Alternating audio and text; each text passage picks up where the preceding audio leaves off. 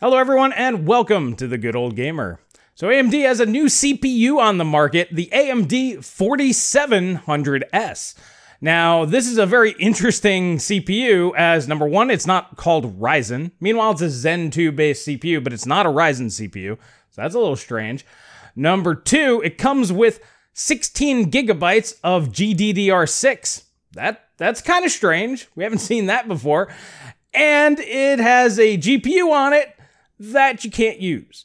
So to me, this is actually really interesting because we're really, really close to getting Xbox Series S or X APUs in the desktop market, except for the fact that AMD just couldn't go that one extra step. Especially when GPUs are in such high demand, they're overpriced through the moon. I'm basically selling off anything I can at about four to five times what I paid for them. And it's just nuts. This looked like this was going to be the saving grace for the DIY PC gaming market when I first heard about this last week. However, today, Videocardz has some more information that's not so good. So to me, this seems like a giant missed opportunity, and I want to talk about it with you guys here today as the sentiment of the community seems to be on board with APUs in DIY gaming. So that's what I want to talk to you guys about here today. But before we get into it, if you like videos like this, please smash that like button. YouTube is not a big fan of creators that are talking about this stuff anymore, just because it's not that great. There's not a lot of good news out there. So YouTube's really kind of hurting everybody in this industry right now. So smashing that like button, sharing, subscribing, all that good stuff it's really the only way that channels like mine and others will be able to flourish during these tough times. So I really do appreciate everybody who supports the channel. So, all right, let's go ahead and check out and see what Videocardz had to say. All right, so jumping on over here to videocardz.com, they have AMD 4700S might be the Xbox Series S slash X APU for PC. Now, obviously, that title is going to grab a lot of attention really fast, especially in this market. However, 4700S Xbox APU without graphics. So basically, they go into a little bit more detail here where the 4700S isn't technically even labeled Ryzen, it's just AMD 4700S. Uh, it's considered AMD Cardinal. It comes on an ITX motherboard. So taking a look at the image here, this is basically what the complete system is being sold as. Uh, you can see that it has a DGPU. This is an RX 550, basically the DGPU version of an iGPU. Um, small little form factor case here, but it's obvious that it's an APU because it doesn't have any DIMM slots. It has 16 gigabytes of GDDR6 surrounding the board, just like you see on, you know, the series consoles or basically any APU console based thing that we've seen for a long time now. So, yeah, this is very clearly one of those two systems. They believe that it's probably a Series X. It could be either one, honestly. Looking at the promotional material, you see 4700S, 16 gigs, and then RX 550, which it's probably because it's the only GPU that AMD can that miners aren't going to want, which is pretty funny when you think about it. Uh, 8 nanometers or 8 core, 16 threads, 7 nanometers, N2, up to 4 gigahertz. Um, they do go ahead and talk about the fact that the Series S goes up to 3.6 and the Series X goes up to 3.8 gigahertz. Obviously, any Zen 2 based CPU is going to be able to hit 4, actually, probably beyond 4 gigahertz. They just clock them down to hit power targets in the consoles. So that's, uh, that's not really that big of a deal. Ironically enough, they showed this picture in the marketing material. That's right from Microsoft, which is pretty funny. And then they have some benchmarks and stuff down here. That's not really the big deal. Uh, to me, the big thing here is the fact that they got rid of the iGPU. This kind of makes sense for two reasons. One, probably due to the fact that it's Microsoft's technology, they probably weren't allowed to sell the APU because it would directly compete with both Microsoft's consoles and probably violate some sort of agreement that they have. Regardless, without the iGPU, this just feels like a missed opportunity to me. All right, so th- this is clearly a repurposed Series X or S chip. They thought it was a Series X chip. It could be an S. It could be either one. Um, their big reasoning was, well, it has 16 gigs of RAM. Well, you take a Series S chip, instead of using eight one gig chips, you use eight two gig chips voila, you got 16 gigs. You can literally take a Series S, desolder the RAM, solder GDDR6 2 gig modules on there. poof, you now have a Series S with 16 gigs. It, it's that simple. Uh, obviously, on a Series S, it would give you no performance benefit, but if you wanted to, I suppose you could do that. Um, so that's it could go either way here. Regardless, obviously, the fact that it does not have the integrated graphics, that's the the big sticking point.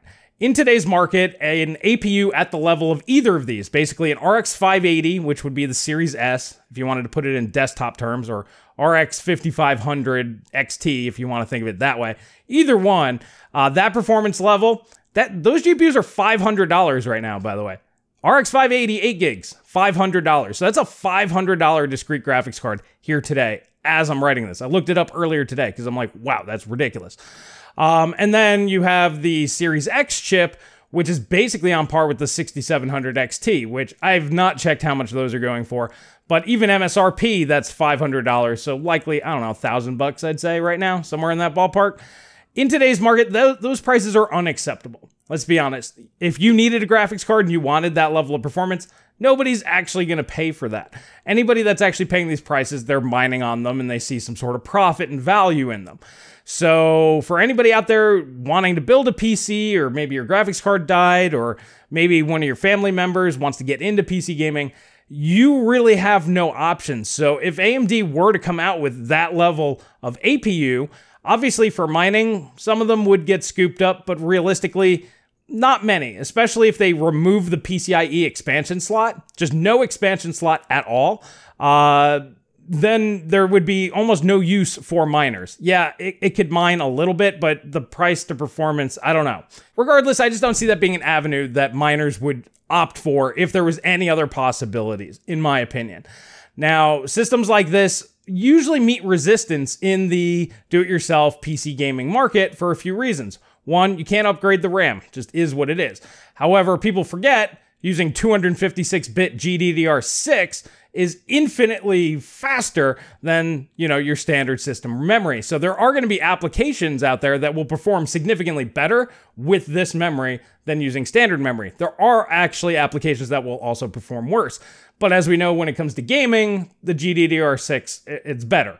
And to me, that's really what I'm seeing. I went through all the comments over on Videocardz on this one, and everybody seemed pretty excited until they're like, uh, but no GPU there seems to be a large enough market out there that don't want super high end, super expensive, super big, super power hungry graphics cards.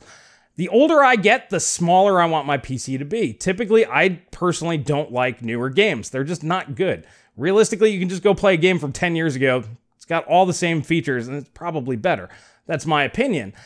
Now, people in my age bracket are the top earners in the world. I'm, I'm almost 40, between 40 and 50. That's when you're at your top earning periods. And that market seems to be split into two categories. You either have the people that are like, no, I want a game, you know, I want to play the latest games. I want all the RTX. I want all the features. I want everything. So they buy the 3090s. They have the most disposable income. And then you have people on my end of the spectrum that just aren't that interested in the newer games, but still are interested in the technology and instead would rather see things get smaller and smaller and cheaper and cheaper. Something like a Raspberry Pi, for example, to me is very exciting because if that was like four or five times faster than what it is, which it should be in the next couple of years, that might be the last piece of technology that I need. And it's something this small, costs less than a hundred bucks, and it does all the things that I want. If AMD were to start selling gaming APUs with GDDR6, it means we can get much, much smaller form factors with much, much higher performance tiers. So that that to me would be really exciting. And it's very clear that this is a market that is not being uh, saturated. This is an untapped market that AMD, Nvidia, or Intel could easily capitalize on. And AMD had, could have done this a while ago. Now, I know a lot of you guys, you're, you're typing on the keyboard going, well, Microsoft has a deal with them. They can't sell this. They could use Zen 1 and RDNA 2. Poof, it's not the same chip. Microsoft has no ground to stand on. They'll lose every court case ever. Um, you know, it can't be the exact same chip. That is correct. These are obviously harvested chips where something on the GPU uh, that doesn't have redundancy got hit with a defect, probably like a media encoder or just anything that does not have redundancy on there. So the GPU is basically worthless. They can't salvage it, so they're just fusing it off. But I'm talking about in general, this is a market that nobody is taking advantage of. AMD should have done this years ago. Um, obviously, once Zen hit, this should have been what they should have been focusing on, in my opinion. Discrete graphics cards, that's all well and good. I know a lot of you guys, that's your thing. You're on the one side of the camp. But there's an entire other spectrum of the market that has no interest in giant desktops with three or 400 watt TDP GPUs. They want something that's one or 200 watts. They want something that they can throw in a backpack and that plays all of their games just fine. The Series S and X or PS5, any of these new consoles are going to take care of that for the next few years.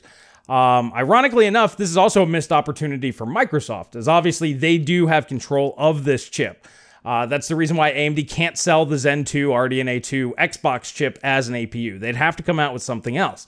Either Zen 3 or maybe RDNA 2 with the Infinity Cache. It just has to be different. And once it's different, Microsoft can't tell AMD what to do with it at all anymore at that point. But Microsoft could literally just come out with an Xbox PC, sell the Series X and S at, you know, maybe an extra two or three hundred dollars because they'd have to make profit on them. You know, they can't sell them at a loss or a cost at that point, but for an extra couple hundred bucks, and then allow Windows to be installed or come pre installed with Windows. What would be even cooler is if it had a dual boot mode where you could boot into Xbox mode and play actual Xbox games, eh, or you could boot into the desktop mode and then, you know, play all your desktop games. That'd be really great if you have games on Xbox, you wouldn't have to rebuy them on PC. I think that that'd be pretty cool. But, anyways, that's a missed opportunity for Microsoft. This is a missed opportunity for AMD. I know that Intel, they're doing their NUC thing, which is kind of cool, but it's a very niche sort of device there with the RTX 2060, and it's $1,500. So it's prohibitively expensive. And honestly, it's just, it's expensive because it's niche, and they're not going to produce a lot of them. And that's because there's not a big community around there. Single board computers, I mentioned it before, Raspberry Pis, that's huge. That is a growing market. And AMD, Intel, or NVIDIA needs to figure out they need to come out with a single board computer that's built for gaming. So that means just enough CPU horsepower to do what you need and the biggest possible GPU with the most amount of GDDR you could throw on it at the highest possible bandwidth. That's where the expense should be coming in. You should be spending more on GDDR than GPU and CPU combined. That's kind of where, where the expensive part is. Sell that thing, I don't know, three, four, five hundred bucks. People come up with custom cool cases just like they did with the Raspberry Pi and just let the users out there have that option. We don't have that option right now. The Subor Z thing, I don't know if you guys remember that, came out. I think that was with Ryzen, and I think it was Polaris or something on there. It was a very unique custom build thing that they had in China. It had 8 gigabytes of GDDR5 on there, but that's the only other chip that I've ever heard of that AMD has produced. I think it had 16 CUs, if memory serves me right. Um, Digital Foundry did a video on it. They figured out 8 gigabytes wasn't quite enough for general Windows use. So, yeah, for me, it would be great if AMD Microsoft, whoever offered basically this board, and then you have, let's say, an 8 gigabyte model, just like the Series S, and then a 16 gig model, and then a 32 gig model. And then you just pay more money, just like you see on the Raspberry Pi. To me, that is the business model that one of these guys needs to figure out. That's a winning strategy. And then next year, you do, you know, come up with a cool name with it and just do Gen 2, Gen 3, Gen 4. And then that'll just be a PC system requirement. You know, uh, Xbox PC, like I was saying before. I think that'd be a pretty cool uh, thing, you know, if they came out with that. So, you know, system requirement Xbox PC Gen 1 for recommended or, or minimum, and then maybe Gen 2 becomes recommended or whatever. I think that that is an untapped potential of the market. And personally, I really was hoping that this would be the case. All the information I got last week did not mention that the uh, GPU, the iGPU was fused off. So I'm glad I waited on this video, did it today, as that makes a lot more sense. Um, you know, obviously AMD can sell Zen 2 CPUs, and if Microsoft isn't going to use them, they, they might as well sell them. I wouldn't actually be surprised if we see a 6 core 12 thread variant coming out, because if a Series S or X has a core that gets hit with a defect, what are they going to do? Throw it out? Well, they can now fuse off the GPU and sell it as a 6 core, 12 thread kind of all in one thing. Embedded solution. That's the proper phrasing. But, anyways, I'm really interested to hear you guys' thoughts on this. I think that this is a really cool avenue for one of these guys to figure out that there is a market there. There's a huge market out there. Um, and with the way that PC gaming is going here in the past almost year now, we're, we're what, nine months into the point when you can't couldn't buy GPUs. It's getting a little ridiculous. I, I personally just see the DGPU market becoming so niche, it's almost irrelevant. I do see that this is going to be the future. It's just whoever pulls the trigger first comes out with the right pricing and the right marketing strategy they'll be the ones that win it. Now, obviously, NVIDIA, they're going to have to do it on ARM. That's going to be a problem if they can't come up with great ARM emulation because every x86 piece of software is going to need to run on that, at least for gaming anyway. So, all x86 games all x86 emulators are going to need to be shifted over. That's not that big of a problem as most of them already support ARM, but it's going to be a bigger uphill battle for them. AMD and Intel could literally do this right now. Intel's obviously working on their graphics program, the new Tiger Lake uh, APUs, CPUs, whatever you want to call them. Those are pretty good. So Intel looks like they're getting there. Um, and AMD's had the technology. They could have done GCN and they could have done Zen 1. I mean, there's no reason why they couldn't have done a the 2400G or 3400G. It could have been, you know, four core, eight thread with 24 CUs or 32 CUs. That would have worked out just fine. As we know, AMD GPUs require less CPU hardware to run. Hardware Unboxed figured that out. Four core, eight thread be more than enough. So, you know, 32 CUs, that's basically what, RX 470 level. Throw 8 to 16 gigs of GDDR5 on there that would have been a seller, but they chose not to do that. Somebody's got to figure out that, that there is a market there. From all the comment sections I'm seeing, seems to be a big deal. I'm interested to hear your thoughts though. Let's fill up this comment section. Let's let AMD know that there is a market for this. Not everybody wants big discrete graphics cards. They'd rather have the whole system the size of an RTX uh, 3090 or the 6900 XT. I want my entire PC to be that size, but I want it to be as close to that performance as possible in that form factor. So if somebody can deliver that, I'd be very happy. If you guys would be interested in something like that, let them know. Comment section. Also, once again, please like the video if you like these type of videos. That's really all I have for you guys here today. I'll catch you guys in the next video.